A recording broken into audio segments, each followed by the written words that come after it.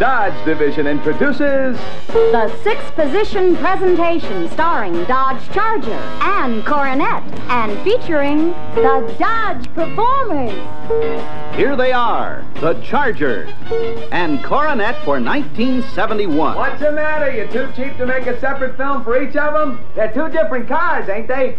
Well, uh, yes and no. They're, of course, two completely different cars. But they fit together as a team to appeal to one broad segment of the market. But let me tell you what's happening for 1971.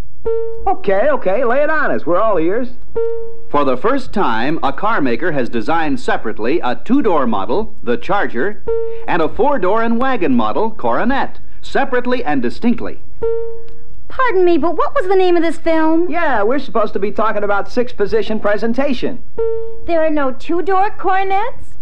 There are no two-door Coronets. The Charger's styling and name is Dodge's two-door intermediate.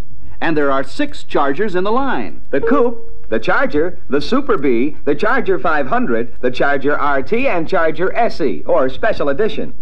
There are eight separately designed and styled four-door Coronets. They are Coronet Sedan and two-seat wagon, Coronet Custom Sedan and two- and three-seat wagons, Coronet Brougham Sedan, and Coronet Crestwood two-seat and three-seat wagons. Hey, what did you say this picture's about? Six position presentation? You could have fooled me, Aspinwald. Okay, let's go. Let's get on with it. We got the cars. What we need now is the people. Green, you play the part of the Dodge salesman, and Orange, you're the customer. Banana, er, I mean Citronella, you're the friend who always comes along to see they don't get uh, taken, right? Incidentally, audience, when it comes to these 1971 Chargers and Coronets we're talking about, we really mean what we say. We think they're great, and we think you will too.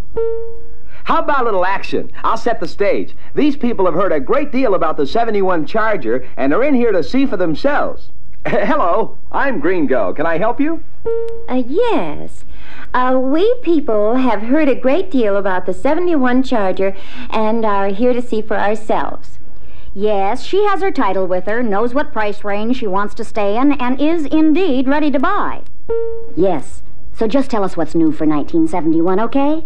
Like the new door locks and the stereo tape player and the ventless side windows and the canopy type vinyl roof and. Uh, pl- please, ladies, I'll be happy to make sure you get the whole story. I won't miss a thing. Promise. Now, turn around and we'll start with this Charger 500. And he'll go right into everything that's new for 1971. Ready, ladies? Here's the first of six positions of presentation the front. Uh, cool it, Coach. This, ladies, is the 1971 Charger 500's front look. Notice the healthy and mod-looking double-loop bumper and this Charger-only grille. This year, concealed headlights are optional for the Charger RT and Charger Super Bee and standard on the SE, and electric headlamp washers are available as an option. What engines are available? The economy power, the 225 cubic inch 6 or the 318 cubic inch V8 is standard in the coupe and Charger hardtop. The six cylinder engine is only available in the Charger and the Coupe, right? Right. And the 318 V8 is also standard in the 500 and SE. But in the Charger Super Bee, the 383 four barrel V8 is standard. Of course, you have the optional 440 Six Pack V8 or the 426 Hemi V8. What comes with the RT? Isn't the 440 V8 standard? Sure, and the 440 Six Pack and the Hemi are optional. And for the Charger SE, the 383 two barrel and four barrel are optional. Yes, what a selection. All the way from that 225-6 to the Hemi V8. That's a lot of variety. Let's move around here to the passenger door, position two, where you can get a good look at the Charger's new ventless side windows. No more wind noise and inconvenience from those goofy little vent windows. Yes, what do you do for ventilation? I know the lower ventilation has always been good, but I mean like upper. Funny you should ask. You see those air conditioner outlets in there? They bring in the upper fresh air even without air conditioning. Oh, by the way, Green, don't forget to mention that hidden windshield wipers are standard. Uh, thank you. Is it all right to proceed now? The 71 Charger is on a new, slightly shorter 115-inch wheelbase, still bigger than the others in its class. Yes. Now we're at the third position, right? What are we going to learn about here? How about wheels and tires? 14-inch wheels are standard on all Chargers. 15-inch wheels are optional for all. On the coupe, E78 by 14 bias belted tires are standard. F78 by 14s on the Charger, the 500, and the SE. F70 14s on the Super Bee and the RT wears G70 14s. Yes. This looks like a new type of vinyl roof. It is. New this year. Canopy type, and it's standard on the Charger SE. Of course, the full vinyl roof is available as an extra cost option for all the Chargers, including the SE. The book says there are 18 choices of outside paint colors for Charger, including six high impact colors. Around here in the fourth position, I want to brag a little about the taillights and the general rear end styling. Yes, you're right. It is a handsome car. And look here. This trunk is a real good size. A couple of the new options for 1971 are the painted bumpers and, for the RT and Super Bee, front and rear spoilers. Now, over here at position number five, take a look at this interior trim. Standard for this Charger 500 and for the RT are all vinyl high back bucket seats with integral head restraints. For the SE, standard trim includes cloth and vinyl bucket back bench seat with folding front center armrest. Standard for the Charger and the Super Bee is this all vinyl split back bench seat. Yes. And now can I get in the driver's seat? Uh, be my guest. You're at position number six. When you get in there, you'll notice that neat padded dash and instrument panel with the easy to read gauges. And oh boy, a floor mounted cassette stereo tape player, which can also work as a tape recorder if you buy the optional microphone. It is bad. That means good. Look, it can record programs direct from the car radio while you listen. It even has an automatic volume level control. The microphone can be used to record voice or other sounds, ideal for reports or letters, for the traveling man or the doctor or the busy executive. Also new this year, but standard equipment, is the keyless door locking. Just push the button down and give the door a shove, and it locks automatically.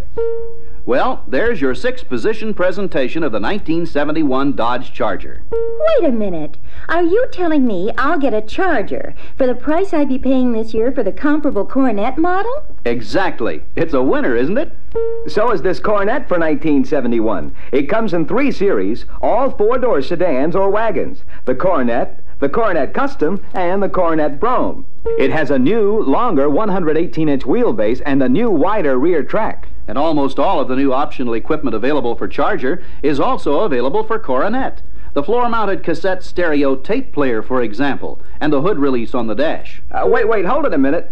If you want to read some of Coronet's features, it's okay. But, but would you begin at the beginning, please, with standard features for 71? Oh, uh, yes. Okay, yes. Standard on Coronet of 1971 are ventless windows, hidden windshield wipers, keyless door locking. This huge loop bumper, which completely surrounds and protects the bright three-piece high-impact grille. How about series and models? The Coronet series offers a sedan and a two-seat station wagon. The Coronet Custom Series offers the sedan and two-seat wagon, as well as a three-seat wagon, and the top of the line Coronet Brougham is a sedan, accompanied by the Coronet Crestwood two-seat and three-seat wagons. That's eight models of Coronet, individually conceived, designed, styled, sized, built, and priced for the car buyer who wants a lot of class, but who has to be practical above all else. Yes.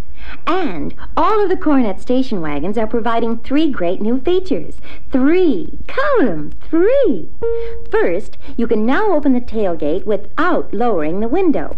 Second, between wheel wells is 48 and one half inches. A four-foot sheet of plywood or wallboard lies flat. And third, there's a big new handle to use for opening the tailgate. Great for us gals. Take a look in here at this beautiful simulated wood grain instrument panel. It's this way in all customs and Broughams. And how about these seats? Standard in the Coronet Brougham is a cloth and vinyl bench seat with split back and folding center armrest. In the custom, a cloth and vinyl bench seat is standard. Optional all vinyl bench is available. The basic Coronet sedan offers all vinyl seats with color-keyed rubber floor mats. Look at the rear of this sedan.